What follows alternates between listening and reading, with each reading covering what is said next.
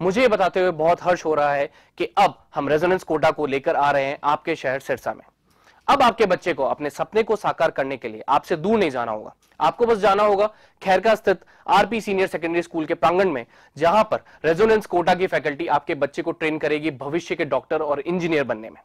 सभी प्रमुख परीक्षाएँ जैसे JEE Main, JEE Advanced, NEET UG, AIIMS, international olympiad, NTSC, KVPY, CA, CS, CMA CLAT Resonance ने गुणवत्ता और मात्रा दोनों में अच्छे परिणाम देकर खुद के लिए एक नाम बनाया है। अधिक जानकारी के लिए आप डब्वाली रोड स्थित RP senior secondary school visit कर सकते हैं या कॉल कर सकते हैं नीचे दिए गए नंबर पर। अब होंगे सपने साकार। धन्यवाद। अभी तेरह, चौदह, पंद्रह को माननीय मुख्यमंत्री जी यहाँ पर जनसंवाद के लिए भी आ रहे हैं। जिसके अंदर की तीन गाँव जो हैं हमारे डबवाली के और तीन गाँव हमारे कालांवाली के और तीन गाँव हमारे रानिया के। तो टोटल नौ गाँव जो हैं उसमें उनका दौरा रहेगा, जिसमें वो जनसंवाद करेंगे, जो जनता की समस्याएँ हैं उनको सुनेंगे और इसके साथ साथ हम उनका समाधान भी करेंगे। तो मैं बहुत बहुत धन्यवाद करना चाहती हूँ माननीय मुख्यमंत्री जी, जो सदैव हमारे हरियाणा को आगे बढ़ाने के लिए तत्पर रहते हैं, आम जनता के लिए तत्पर रहते हैं कि कैसे जो है उनको हर सुविधा मुहैया होने चाहिए और उनका ईज ऑफ़ लिविंग कि उनका जो जो जीवन है वो कैसे सरल हो इस कोशिश में लगे रहते हैं बहुत हो गया सीएम साहब का? क्या कोई उन दिनों में इनोग्रेशन भी होंगे कोई आ, नहीं देखिए ये इनोग्रेशन आज कर दिया ना कि अगर अगर उन्होंने कुछ इस तरह से आप ये देखिए ये माननीय मुख्यमंत्री जी को मैं बहुत इस बात के लिए मुबारकबाद देना चाहती हूँ कि उद्घाटन को उन्होंने जो जनता को समर्पित करना था उनको कैसे आप लोगों के समक्ष समर्पित किया अगर उन्होंने थोड़ा सा भी उनके मन में ये आता तो वो तेरह, चौदह, पंद्रह को यहाँ पर आ रहे थे। वो बहुत बड़ी जनसभा करके और उसके अंदर इसको समर्पित कर सकते थे लोगों को नंबर बनाने के लिए। लेकिन मुख्यमंत्री जी कोई नंबर बनाने में विश्वास नहीं रखते, वो लोगों का काम करने में विश्वास रखते हैं।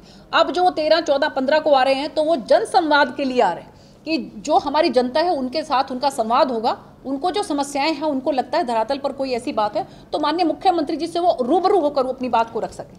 सरपंचों सरपंचों और किसानों ने ऐलान किया है कि बीजेपी नेता कोई भी हो, उनको गाँव में दाखिल नहीं होने दिया जाएगा और हालाँकि संभावना ये भी जताई जा रही है कि सीएम साहब विरोध देखिए, ये वो लोग हैं जो जनता के दुश्मन हैं, जो नहीं चाहते कि जनता का काम हो। आप ये बताइए कि हम यहाँ पर माननीय मुख्यमंत्री जी इतने इतने जो हमारे वेलनेस सेंटर हैं, उनका उद्घाटन कर रहे हैं। अगर ऐसे कार्यक्रमों का, या कि माननीय मुख्यमंत्री जनसंवाद के लिए आ रहे हैं, अगर ऐसे कार्य कार्यक्रमों का, या जो जनता के लिए समर्पित कार्यक्रम है, उसमें अगर आकर वो खलल डालने की कोशिश करते हैं तो इससे स्पष्ट ज़ाहिर होता है कि वो जनता के साथ नहीं है। तो मुझे लगता है कि जनता इन बातों को समझती है और वो इसको कोई तवज्जो देने वाली नहीं मैडम, समान विकास की बात करती है भारतीय जनता पार्टी, लेकिन तीन ही हल्कों में प्रोग्राम क्यों रखा गया? सिरसा और एलनाबाद को इग्नोर क्यों किया गया? नहीं, देखिए, इसमें इग्नोर करने वाली बात नहीं है। बात केवल ये है कि गाँव गाँव में जाकर आप टोटल तीन दिन का उनका प्रवास है और तीन दिन में एक दिन के अंदर जो है, वो तीन गाँव को लेंगे। और इससे पहले जो है, वो एलनाबाद के अंदर माननीय मुख्यमंत्री जी कई बार आ चुके हैं। और इसके साथ साथ पिछले दिनों मल्लेखां के अंदर जो है, जो उनका, उनकी रैली थी, उनकी जनसभा थी बहुत बड़ी तो वो एलनाबाद में ही आता होगा। तो ये बात नहीं है, जिनको टच कर चुके हैं ऑलरेडी वो तो उनको वो उन्होंने इसलिए महसूस किया कि ये जो तीन हमारे विधानसभा हैं इनके कुछ गाँव रह गए हैं तो इसलिए वो जनसंवाद के लिए आ रहे हैं। अगर आप वैसे देखें तो सिरसा ज़िले के अंदर कितने गाँव पड़ते हैं? तो आप क्या समझते हैं कि हर गाँव के अंदर माननीय मुख्यमंत्री जी जाएँ? विधानसभा क्षेत्र में तो आ ही सकता है जिस तरह से गोपाल कांडा ने सीएम से मुलाकात की उन्होंने कहा कि उन दोनों हल्कों का भी कार्यक्रम बनाएँगे हालाँकि तीन ही हल्कों का। नहीं तो ये कोई इतिश्री थोड़ी हो गई कि इसके बाद आपके बाद माननीय मुख्यमंत्री जी कभी नहीं आएँगे? ऐसी बात तो नहीं है। तो बस फिर आगे कभी भी आएँगे तो उधर बुलाएँगे। मैम, आपने कहा कि पूरे हरियाणा में स्वास्थ्य सुविधाएँ बहुत बेहतर है, लेकिन विपक्षी पार्टी आरोप लगाते हैं कि सरकारी अस्पतालों की जो दयनीय स्थिति है, बद से बदतर हो गई है, डॉक्टरों की कमी है, स्टाफ की कमी है, दवाइयाँ नहीं मिलती अपने से वो कंपेयर करें, जो उनके समय में होता था, किस तरह से माननीय स्वास्थ्य मंत्री जी बता रहे थे कि नीली पीली गोलियाँ खिलाकर किस तरह से जो हमारे पेशेंट्स को जो है वो भगा दिया जाता था। आज की तारीख में उन्होंने कहा कि हर पीएचसी के अंदर ईसीजी होगा, हर पीएचसी के अंदर एक्सरे होगा। ऐसी सुविधाएँ देने की बात हमारे स्वास्थ्य मंत्री जी और माननीय मुख्यमंत्री जी कह रहे हैं। आप हालात देखें जो पहले होते थे किस समय वो बता रहे हैं कि एक पंखा चलता था और करके कम से कम 300-400 की लाइन लगी रहती थी। आज आप देखिए कि ए क्लास के जो हमारे पीएचसी सीएससी जो नए बन रहे हैं वो बिल्कुल ए वन क्लास के हैं। और जो पुराने समय के उनको कंडम करके उनकी जगह पर भी नए बनाए जा रहे हैं। तो मुझे लगता है कि बिल्कुल स्पष्ट नज़र आता है जो अंतर है वो बिल्कुल स्पष्ट नज़र आता है जो पहले की स्थिति और जो आज की स्थिति। लोकसभा चुनाव के लिए कितनी तैयार है?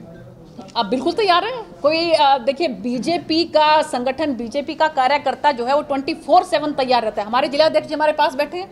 हमारे जो है कितने वरिष्ठ नेता हमारे पास बैठे हुए हैं। तो बिल्कुल एकदम 24 सेवन हमारा कार्यकर्ता जो है आप आज अनाउंस कर दिए कल हम बिल्कुल आपको तैयार होकर दिखा देंगे हमारी लोकसभा चुनाव के लिए।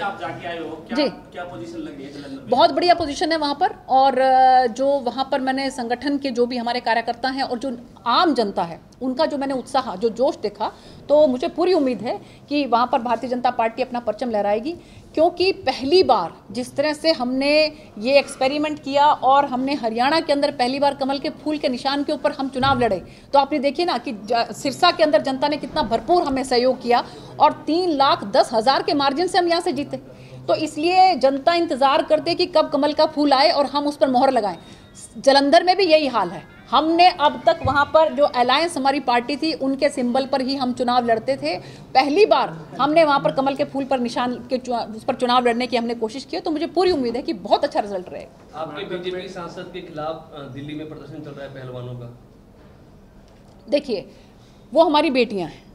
उन्होंने हमारे देश का नाम रोशन किया है इसमें कहीं कोई दो राय नहीं। उनकी मांगें थी कि एफआईआर दर्ज होनी चाहिए। तो दिल्ली पुलिस में एफआईआर दर्ज हो गई। उनकी एक मांग थी कि हमें सिक्योरिटी प्रोवाइड होनी चाहिए। उनको सिक्योरिटी प्रोवाइड की गई है। मुझे ये लगता है कि अब इसके अंदर राजनीति घुस गई है। जो दूसरी राजनीतिक पार्टियाँ हैं वो उन बच्चियों को अ, उनका जो है फ़ायदा उठाने की कोशिश कर रही हैं। तो मुझे ये लगता है कि अब कुछ समय प्रशासन को देना चाहिए पुलिस को देना चाहिए कि वो अपनी इन्वेस्टिगेशन करके दूध का दूध पानी का पानी करे। तो मुझे ये लगता है कि अब जो है इसके अंदर राजनीति हो रही है और जो एफआईआर दर्ज हुई है उसके तहत पूरी इन्वेस्टिगेशन होने के बाद दूध का दूध और पानी का पानी होना चाहिए। देखिए ये पुलिस जो है ये अगर अगर ऐसा कुछ है पुलिस किसी भी तरह की कोताही बरतेगी तो उसको इस, इस चीज़ का ऑफिसर जो है उनको इस चीज़ का भुगतान करना पड़ता है। वो जो कुछ भी करते हैं वो कानून के तहत ही करते हैं। एफआईआर दर्ज होगी या पुलिस अपना काम करेगी?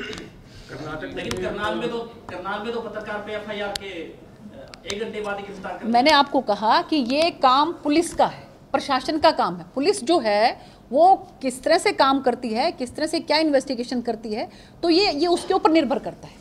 जी। कर्नाटक में भी चुनाव हैं। जी? बहुत अच्छा वहाँ पर माननीय प्रधानमंत्री जी की जिस तरह की रैलियाँ रही वहाँ पर और जिस तरह से वहाँ पर लोगों का एकदम से जन सैलाब उमड़ पड़ा उनको सुनने के लिए तो मुझे पूरी उम्मीद है कि आने वाले समय में कर्नाटक में भी हमारा बहुत अच्छा प्रदर्शन रहेगा।